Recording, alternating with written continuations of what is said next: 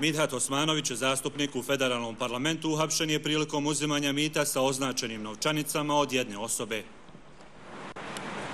Ovaj osumničan je pod istragom i osumničan je za organizirani kriminal u svezi sa više drugih kaznih dijela, među kojima i primanje mita u iznosu od 20.000 konvertibilnih maraka radi rješavanja radnog statusa i zaposlenja jedne osobe.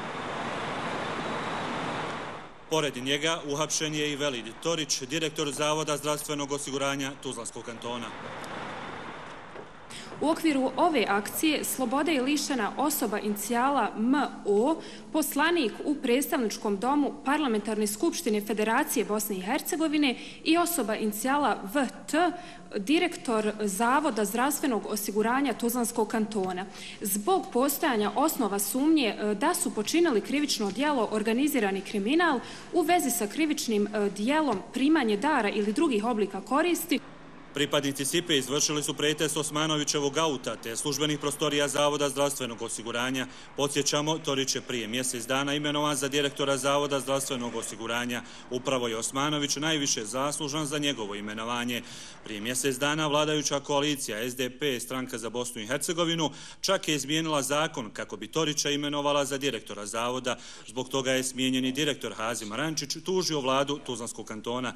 Zanimljivo je napomenuti da su se nakon hapšenja u blizini hotela pojavili Mohamed Šadić, čija je supruga član upravnog odbora Zavoda zdravstvenog osiguranja i kantonalni ministar trgovine i saobraćaja Senajd Hadžić. Naravno, svi kadrovi stranke za Bosnu i Hercegovinu, kao i uhapšeni Osmanović i Torić. Nezvanično saznajemo da je u okviru ove akcije saslušani i VD komesar Samir Aljukić, za čije imenovanje najviše zaslužna upravo stranka za Bosnu i Hercegovinu službenici uprave policije. Mirela, brojne su reakcije na hapšenje Osmanovića i Torića. E, šta kažu zvaničnici i kakvog su stava njegove stranačke kolege? Upravo tako ide, naime iz vrha stranke za Bosnu i Hercegovinu, čiji je Osmanović član, kažu da će ipak sačekati konačnu posljednju reč tužiteljstva i suda Bosne i Hercegovine prije nego li eventualno počnu razmišljati o eventualnim sankcijama protiv svog stranačkog kolege. A predsjedavajući predstavničkog doma federalnog parlamenta Fehim Škaljić kaže da su učestala hapšenja poljuljala povjerenje građana u institucije federalnog parlamenta. E, čujemo više u prilogu kolegice Adriana Adise Ibrahimović.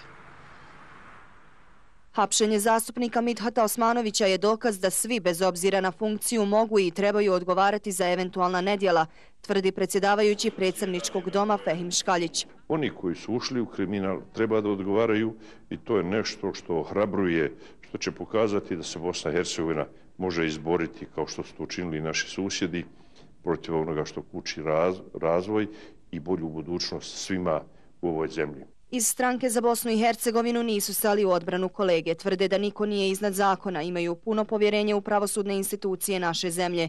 Svejedno ovakav događaj će ostaviti negativan pečat po ugled stranke. Nikome nije svejedno kad se ovakve stvari dešavaju.